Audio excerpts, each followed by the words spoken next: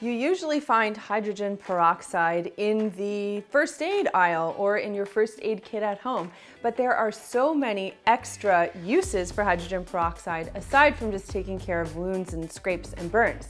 So stick around and I'll show you seven cool ways you can use hydrogen peroxide. And just a quick reminder, if you haven't done so already, to subscribe to the Clean My Space channel and like this video if you have a bottle of hydrogen peroxide in your first aid kit. So what's the deal with hydrogen peroxide and why does it work so well?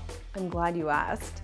Hydrogen peroxide you normally find in your first aid kit because it's really great at cleaning your wounds. You put a little bit on the wound, it helps bubble up any of that bacteria or dirt right to the surface, and it really keeps things clean, helping you not get an infection. So think about that science and kind of apply it to cleaning. It disinfects as well, but it does so many other things too. Now, something to know about hydrogen peroxide, it remains in this brown bottle at all times until just before you're going to use it. When it's in this brown bottle, it's protected. And the minute that it's exposed to light, like the rest of us, it becomes unstable, not like the rest of us. So you wanna make sure that it's always locked up until you actually need it.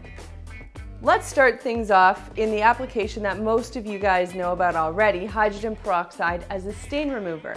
It's a great alternative to bleach, except it's not chlorine bleach and you use it for first aid. So I feel a lot better about using hydrogen peroxide. The way I like to use hydrogen peroxide is in a solution of two parts hydrogen peroxide and then one part dish soap. Mix that all together, blot up your stain first, apply this solution to your stain, let it sit for about 5-10 minutes, and then launder it as usual. This solution really helps nab those stains. And you can also use it on carpet stains or upholstery stains.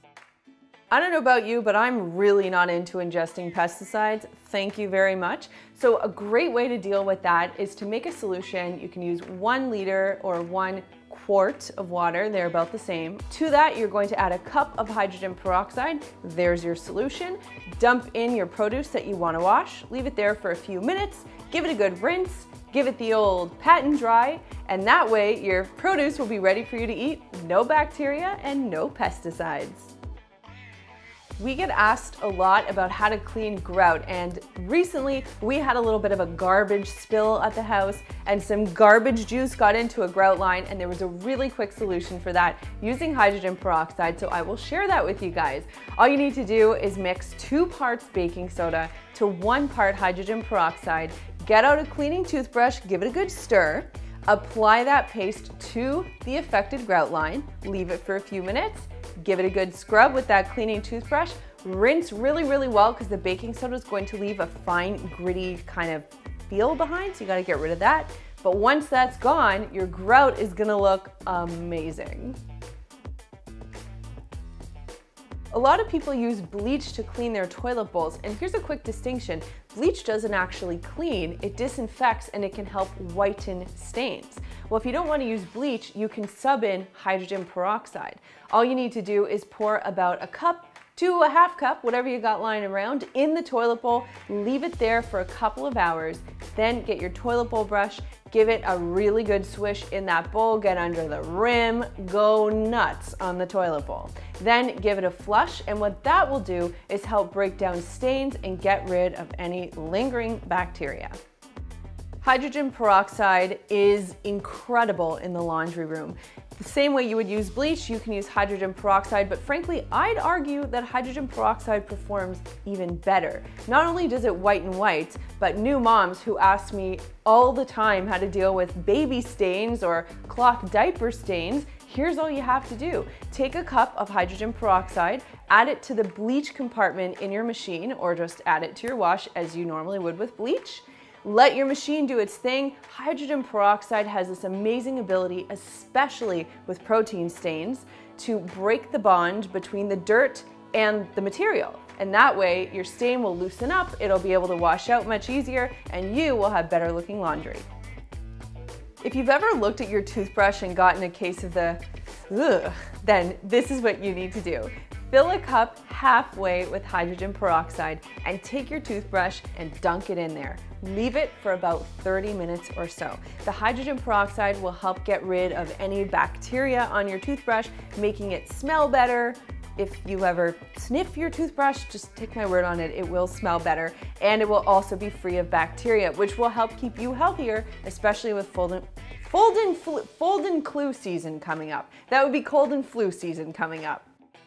If you're looking for a quick, easy disinfectant in your kitchen, look no further than the friendly brown bottle of hydrogen peroxide.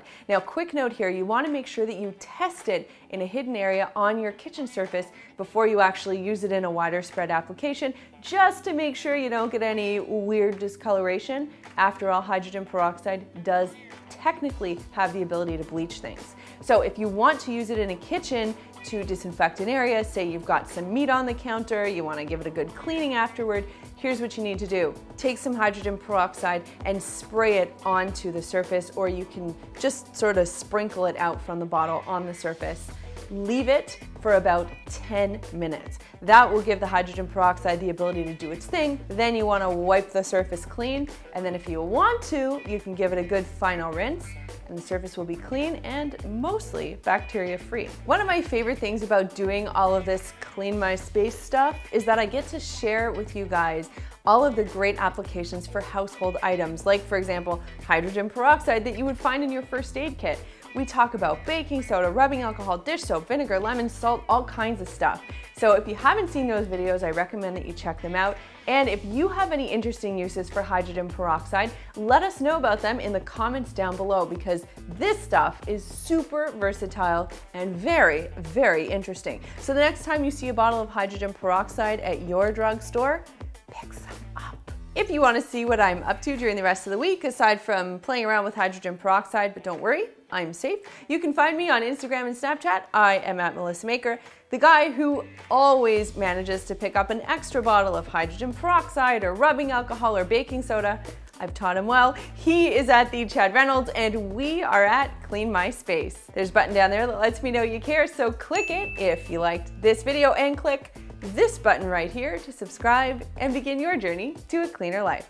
Thanks so much for watching and we'll see you next time. Well, it's that special time of the week where I get to throw you to a couple of other videos I think you're going to love. And since we're talking about great uses for household things, I thought I would direct you to our baking soda video. It's great. And then you can also check out our rubbing alcohol video, which is super informative. I mean, between all of these household things, hydrogen peroxide, baking soda, rubbing alcohol, you could be like a cleaning master for just a few bucks. It's a good thing, trust me.